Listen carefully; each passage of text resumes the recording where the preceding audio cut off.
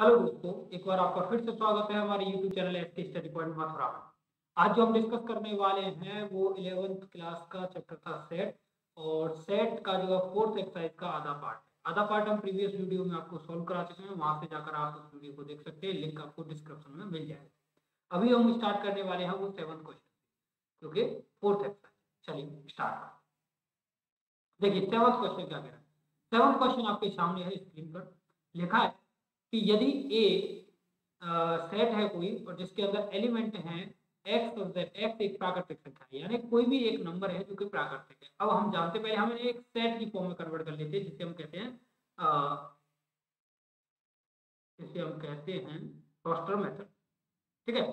चलिए, मैं कहता हूँ ए हमारे पास कोई सेट है और उसके अंदर के जो एलिमेंट है, वो है one two three four five यानी प्राकृतिक संख्या कोई भी हो सकती है और डॉट डॉट इनफाइनाइट तक हो सकती है। क्लियर अब हम दूसरा सेट देखते हैं। बी कह रहा है कि बी एक सम प्राकृतिक सेट जो कह रहा है, ये वाला देखिए। यहाँ पर आप देख पा रहे होंगे, आपके पास कहाँ है? ये वाला बी सेट जो है, आपके पास है ये वाला। ये कह रहा है सम प्राकृतिक संख्या है। ये रहा। तो यहाँ पर हम लिख सकते हैं, सम प्राकृतिक संख्या कौन सी होती है? Two four six eight dot dot dot infinite तक इस तरीके से होती है। प्राकृतिक संख्या होती है। एक से स्टार्ट होकर इनफाइनाइट तक जाने वाली। सब प्राकृतिक होती है, यानी कि इवन नंबर जो कि एक, दो से स्टार्ट होंगे और पहुँचेंगे कहाँ तक? इनफाइनाइट तक। अब हम हमारे पास सी है। सी सेट जो बनेगा, वो सी सेट ये वाला। सी सेट कह रहा है एक विषम प्राकृतिक संख्या। तो देखिए, विषम प्राकृतिक संख्या कौन सी होती है? एक, तीन, पाँच, सात और नौ, ग्यारह तरीके से डॉट डॉट डॉट ये विषम प्राकृतिक संख्या होगी। अब डी वाला देखेंगे डी वाला डी क्या कह रहा है? डी कह रहा है, एक अभाज्य संख्या। अभाज्य संख्या है जिनका भाग न जाता। तो देखिए टू ठीक है टू सबसे छोटी अभाज्य संख्या होती है।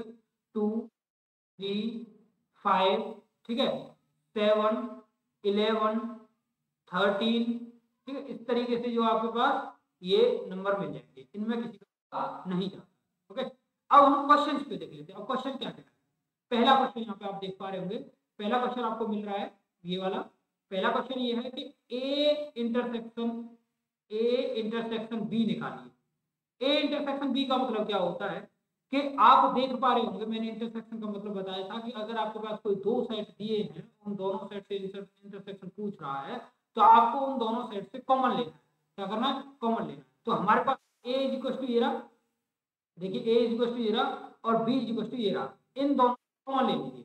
तो कॉमन देख पा रहे होंगे आपके पास क्या क्या आ रहा है? ये आ रहा है वन सॉरी बी वाला, ये रहा ए और बी इन दोनों से देखिए भाई सी वाले से नहीं ए और बी वाले से देखिए। इन दोनों से कॉमन क्या क्या आ रहा है? वन तो कॉमन क्या? वन तो कॉमन आपके पास है नहीं टू आ रहा है। क्या आ रहा है? टू आ रहा है फोर आ रहा है सिक्स आ रहा है एट आ रहा है और डॉट डॉट डॉट इस तरीके से आपका ये नंबर आते ही जाए ठीक है? और इसी को हम कह सकते हैं कि देखिए ए इंटरसेक्शन ऑफ़ बी तो ये तो बी के इक्वल है भाई, ये पूरा सेट तो। ये पूरा सेट किसके इक्वल है? बी के इक्वल है तो ये बी हो गया। ठीक है? अब आपके पास सेकंड सेकंड वैल्यू क्या है आपके पास? सेकंड वैल्यू आप देख पा रहे होंगे। तो ए इंटरसेक्शन सी कह रहा है। क्या कह रहा है? ए इंटरसेक्शन सी तो आप देखें ए इंटरसेक्शन सी तो ए और सी से अगर मैं कॉमन देने की बात करूँ तो मेरे पास कॉमन आएगा। वन एट सेवन नाइन और इलेवन। Dot dot dot. देखें, ये तो सी के इक्वल हो गया। क्या के इक्वल हो गया? सी के इक्वल, क्योंकि सी का सेट ही तो है ये। कॉमन आ रहा है। तो कोई चीज़ आ रही है जो सेट तो अब मैं सिमिलर से कह सकता हूँ कि A intersect D intersect D intersect D किसके इक्वल है? डी के इक्वल। ये हो गया इसका आपका आंसर। दो क्वेश्चन मैंने करा दिए, उनके अकॉर्डिंग इसे कर सकते हैं। ठीक है? तो ये आपका आंसर रहा। अब B intersection B intersection C निकाल लीजिए बी इंटरसेक्शन सी की बात करेंगे तो देखिए बी कहाँ ये रहा और सी कहाँ ये रहा। अब इन दोनों से कॉमन देखिए, क्या इन दोनों में से कुछ कॉमन आ रहा है? टू इसमें नहीं है। फोर इसमें नहीं है। सिक्स इसमें नहीं है। कोई भी टर्म इसमें नहीं है। तो ये रहेगा आपका फाइव क्लियर अभी आप देख पा रहे हैं, अगला है बी बी यहाँ की जगह से आप यहाँ लिख लीजिए। समझने में आसानी कभी होगी। ये है आपके पास फिफ्थ क्वेश्चन ये रहा आपके पास, देखिए, ये रहा आपके पास वन ये रहा आपके पास सेकंड ये रहा आपके पास थर्ड और ये रहा आपके पास फोर्थ ठीक है? अब जो है फिफ्थ फिफ्थ क्या कह रहा है? फिफ्थ क्वेश्चन कह रहा है आपके पास कि B intersect D B intersect D तो बी और डी का वैल्यू देख लेते हैं, भाई इंटरसेक्ट क्या आ रहा है? देखो टू है इसमें, है ना? और बाकी कोई टर्म कॉमन नहीं है तो इसमें टू आने वाला है टू सिक्स पार्ट देख लेते हैं सिक्स पार्ट क्या है? C intersect D C intersect D तो C intersect D C intersect D क्या है आपके पास? सी इंटरसेक्ट डी की बात कर रहे हैं। तो सी और डी में देखिए कॉमन क्या है। आपका सी और डी में आप कॉमन देखेंगे तो क्या आपके पास आने वाला है? देखें सी और डी सी क्या है? ये रहा। डी कहाँ है? ये रहा। थ्री फाइव सेवन तो यहाँ लिखिए। Three, five, seven, eleven, dot dot dot, इस तरीके से आपके क्वेश्चन होने वाले ओके इस तरीके से आप कर सकते हैं। तो ये रहे आपके पहले क्वेश्चन के आंसर है ना? पहले क्वेश्चन के आंसर ये रहे। अभी मैं आगे चलता हूँ। क्वेश्चन नंबर सेवन था। सेवन से पहले के क्वेश्चन सारे आपको प्रीवियस वीडियो मिलेंगे। लिंक आपको डिस्क्रिप्शन में मिल जाएगा। वहाँ से आप चेक कर सकते हैं। नेक्स्ट क्वेश्चन चलते हैं। नेक्स्ट क्वेश्चन एट है क्वेश्चन नंबर एट क्या है? क्वेश्चन नंबर एट पढ़िए। निम्नलिखित समुच्चय युग्मों में से कौन सा युग्म असंयुक्त है अब संयुक्त और असंयुक्त समझ लीजिए संयुक्त और असंयुक्त समझ लीजिए देखिए संयुक्त वो होते हैं जिनमें दो चीज़ें पढ़ रहे थे हम कॉमन और और कलेक्ट कलेक्शन कॉमन और कलेक्शन पढ़ रहे कलेक्शन होता था एलिमेंटों को एक साथ लिखना और कॉमन होता है एलिमेंटों को दोनों में से निकाल लेना दोनों में से सेम एलिमेंट्स को बाहर निकाल लेना, वो होता है कॉमन और दोनों को एक साथ लिख देना होता है कलेक्शन अच्छा चलिए बात करते हैं। इसमें कह रहा है असंयुक्त क्या? देखिए, अगर किसी में से कोई चीज़, दोनों सेट दो सेट आपके पास है ए और बी दो सेट है आपके पास ए और बी जैसे मान लीजिए ए एक सेट है आपके पास, कोई नंबर ये रहा वन टू थ्री ठीक है? और कोई एक बी सेट हो रहा है आपके पास, जिसके एलिमेंट है थ्री फाइव सेवन ये आपके पास है। अब इन दोनों में से एक नंबर आ रहा है कॉमन जिसे उभयनिष्ठ कहते हैं भाई। कॉमन को क्या कहते हैं? उभयनिष्ठ कहते हैं, ठीक है? उभयनिष्ठ। एक नंबर आ रहा है कॉमन जिसका नाम है थ्री ठीक? अब ध्यान रखिएगा, जो थ्री नंबर है इन दोनों से कॉमन आ रहा है तो ये दोनों कैसे सेट हैं? ये असंयुक्त नहीं है। असंयुक्त कौन होगा? जिसमें से कोई भी टर्म कॉमन नहीं आ रहा होगा। विशेष ध्यान रखेंगे। असंयुक्त वो होगा जिसमें से कोई भी टर्म कॉमन नहीं आ रहा होगा, और संयुक्त वो होगा जिसमें से कोई भी टर्म सॉरी जिसमें से कोई भी टर्म कॉमन आ रहा है, वो असंयुक्त नहीं होगा। और जिसमें से नहीं आ रहा है, वो असंयुक्त क्लियर यहाँ से समझिए। ये दोनों असंयुक्त नहीं है। कैसे? असंयुक्त नहीं। असंयुक्त होंगे तो कॉमन कुछ नहीं आएगा ओके चलिए, ये बात करें अब क्वेश्चन पे देख लेते हैं। क्वेश्चन नंबर पहला आपके पास है। पहला कह रहा है कि कोई आपके पास एक सेट है ए मान लेता हूँ ए सेट है। वन टू थ्री फोर एक कोई सेट है। और बी कोई सेट है, जिसकी वैल्यू इसमें रखी है एक्स एक्स एक प्राकृतिक चार से बराबर और बड़ा है, यानी पाँच और छह के बराबर और छोटा है। छह के बराबर बड़ा ठीक है? तो देखें ए और बी से देख पा रहा हूँ मैं कि यहाँ से फोर और यहाँ पे भी फोर सेम है उभयनिष्ठ टर्म है इसमें। क्या है? उबेनिस्ट टर्म है। और उबेनिस्ट क्या है आपके पास? चार। जब उबेनिस्ट चार है तो ये असंयुक्त नहीं होगा। क्या? ये असंयुक्त नहीं होगा। असंयुक्त नहीं संयुक्त नहीं है। क्लियर दूसरा, अब आप देख के बताइए। देखिए, दूसरे वाले में आप देख पा रहे हैं ई आ रहा है। ई और यहाँ पे भी आपको ई मिल रहा है तो ये भी असंयुक्त नहीं है। ये भी आपका असंयुक्त नहीं है। यहाँ एक्स एक्स एक सम संख्या का पूर्णांक है। क्या है? एक सम संख्या है। सम संख्या होती है दो, चार, छह, आठ, दस। पॉजिटिव भी होते हैं, ठीक है? तो माइनस टू भी हो सकता है, माइनस फोर भी हो सकता है, सिक्स भी हो सकता है, ज़ीरो प्लस टू मान लेता हूँ, ठीक है? यहाँ पर आप देख पा रहे होंगे, एक विषम पूर्णांक है, यहाँ पे एक विषम पूर्णांक है। कैसा पूर्णांक है? विषम। इसमें कैसे आएँगे? नेगेटिव वन थ्री तो यहाँ पे प्लस प्लस क्या आएँगे? यहाँ पे यहाँ पे सॉरी इवन नंबर आएँगे और यहाँ पे ऑड नंबर आएँगे। जब यहाँ पर ऑड और इवन आएँगे तो ये कैसा है? संयुक्त। असंयुक्त। असंयुक्त है। यानी कि ये है, ये दोनों नहीं है। क्लियर ओके चलिए नेक्स्ट क्वेश्चन नंबर नौ कह रहा है। भाई क्वेश्चन नंबर नौ कह रहा है। देखिए क्या है। कि क्वेश्चन नंबर नौ में ए की वैल्यू आपको दी गई है सेट और सेट बी की वैल्यू दी गई है सेट सी की वैल्यू दी गई है सेट डी की वैल्यू दी है। कंडीशंस को आपको पास करना है फॉलो देखें ए माइनस बी ध्यान दीजिएगा। ए माइनस बी का मतलब ये होता है कि ए के एलिमेंट बी में जो सॉरी ए के एलिमेंट अगर बी में मैच कर रहे हैं तो उन एलिमेंट्स को हटा दिया जाता है, निकाल दिया जाता है। जैसे मान लीजिए कि ए के एलिमेंट है three six nine twelve fifteen eighteen और ट्वेंटी वन यानी कि तीन छ नौ, बारह, पंद्रह, इधर आ जाइए बी में तो चार, आठ, बारह और सोलह, बीस है। इस तरीके के एलिमेंट इसमें है। तो ए माइनस बी अगर हमें निकालना है तो हम क्या करेंगे कि ए के अंदर जो एलिमेंट बी के होंगे ए के अंदर जो एलिमेंट बी के होंगे, उन्हें हटा दिया जाएगा, यानी ए में से माइनस कर दिया जाएगा और हटा दिया जाएगा। तो देखें थ्री बी में नहीं है सिक्स बी में नहीं है नाइन बी में नहीं है ट्वेल्व है तो ट्वेल्व को नहीं लेंगे फिफ्टीन नहीं है और एटीन नहीं है ट्वेंटी वन नहीं है। ध्यान दीजिएगा बी के एलिमेंट से हमें यहाँ कुछ लेना देना नहीं है। नोट डाउन कौन से होंगे? वाले एलिमेंट ए वाले एलिमेंट जब नोट डाउन होंगे तो हमें बी के जो एलिमेंट ए में मिल रहे होंगे, उन्हें हटा देना। बस इतना सा करना और क्वेश्चन आपके पास देखिए, पहला क्वेश्चन हो चुका है। अब सेकंड क्वेश्चन देखिए। सेकंड क्वेश्चन क्या कह रहा है? सेकंड क्वेश्चन कह रहा है ए माइनस सी जब आपके पास ए माइनस सी देखना है तो ए में से के एलिमेंट जो मैच कर रहे हैं, उन्हें हटा दीजिए। देखिए टू नहीं है। थ्री हो गया यहाँ पे। सिक्स मैच कर रहा हटा दीजिए। नाइन नहीं है। नाइन आएगा यहाँ पे। ट्वेल्व है, हटा दीजिए। फिफ्टीन नहीं है, लिख दीजिए। ठीक है? एटीन नहीं है, आएगा। ट्वेंटी वन आएगा। ये हो गया आपका सी ए माइनस सी अब आप एक काम करिए, अगला वाला क्वेश्चन तीसरा वाला थर्ड वाला A minus D third question दिखा तो अब आप इसको सेम करके दिखाइए। चलिए। ए का एलिमेंट थ्री उसमें है? नहीं है। थ्री फाइव उसमें? नहीं। सिक्स सिक्स नहीं है। नाइन नहीं है। ट्वेल्व नहीं है।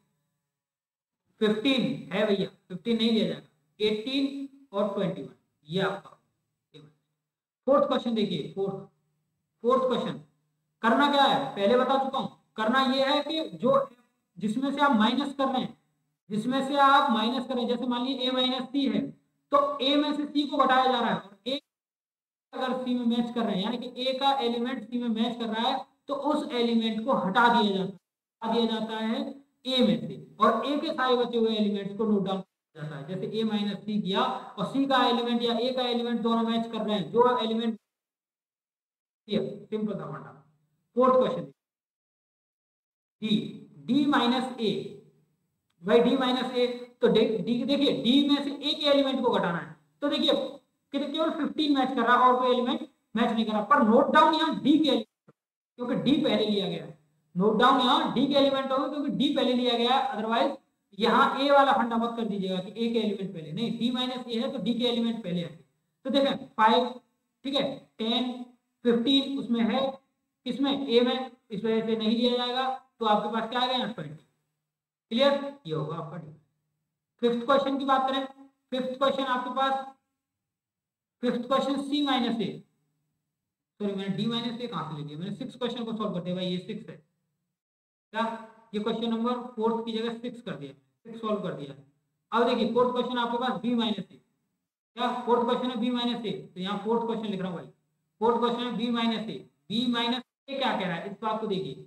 बी है आपके पास क्या? बी फोर बी है आपके पास फोर ओके बी आपके पास फोर है और ए आपके पास है वही टर्म तो बी से ए के एलिमेंट को माइनस करिए। तो देखें क्या लिखना है यहाँ पे? बी से ए के एलिमेंट माइनस करेंगे। तो बी से एक एलिमेंट माइनस करने पर क्या मिलेगा आपको? फोर मिलने वाला है। एट उसमें नहीं है तो नहीं यहाँ पे मिलने वाला है। ट्वेल्व उसमें है क्या? है तो नहीं लिखेंगे। अब देखें सिक्सटीन उसमें नहीं है तो यहाँ पर लिख लीजिए। ठीक है? ट्वेंटी उसमें नहीं है तो यहाँ पर लिख दीजिए। क्लियर ये आपका आंसर फोर्थ वाला। ठीक? अभी आप देखें फिफ्थ सिक्स मैंने कराई दिया आपको। फिफ्थ क्वेश्चन यहाँ पे देख लीजिए। फिफ्थ क्वेश्चन है सी माइनस ए सी से आपको क्वेश्चन इसमें से हटा दीजिए सी वाले टर्म में से ए वाले टर्म को हटा दीजिए, कोई दिक्कत नहीं आने वाली। फोर टू फोर सिक्स देखिए टू फोर सिक्स तो पूरा पूरा आने वाला सिक्स उसमें है भाई सिक्स नहीं आएगा, यहाँ पे एट आएगा। एट टेन ट्वेल्व है उसमें फोर्टीन और सिक्सटीन ये रहा आपका आंसर तो इस तरीके से बाकी के क्वेश्चनों को आप करिएगा, ठीक है? जो नहीं आए मुझे आप कमेंट प्रेस करिए, उसको मैं सॉल्व करके आपको भेज दूँगा। मेरा पर्सनल नंबर पे भी मुझे आप भेज सकते हैं। मेरा पर्सनल नंबर है seven five double zero four one zero three two two मैं इस पर सॉल्व करके आपको क्वेश्चन का आंसर भेज दूँगा। नेक्स्ट क्वेश्चन देखते हैं। नेक्स्ट क्वेश्चन नंबर दस। क्वेश्चन नंबर दस क्या कह रहा है? कह A B C D Y देखिए सिंपल सा फंडा है, वही क्वेश्चन कि ए एक्स और वाई को ए और बी कह लीजिए? थोड़ी देर के लिए समझ लीजिए। एक्स के अंदर कुछ एलिमेंट है वाई और बी के अंदर कुछ एलिमेंट है। दोनों से एक्स एक्स माइनस वाई क्या करना है? तो यहाँ पर ए माइनस बी कह लीजिए सेम क्वेश्चन है पिछला वाला। तो पहले क्वेश्चन को देखें X sorry X minus Y is equal to X minus Y is equal to देखेंगे तो दोनों से देखें ए के एलिमेंट ही आएँगे क्योंकि ए पहले है, यानी एक्स यहाँ पर पहले है। समझ रहे ना? तो एक्स पहले है। तो देखें ए बी उसमें है बी को नहीं लेंगे सी उसमें ले लेंगे डी उसमें है तो डी को नहीं लेंगे। डी नहीं आएगा यहाँ पे डी गलत लिख गया है इसे मैं अभी कर देता हूँ। डी वाला टर्म हटा दीजिए यहाँ से। ओके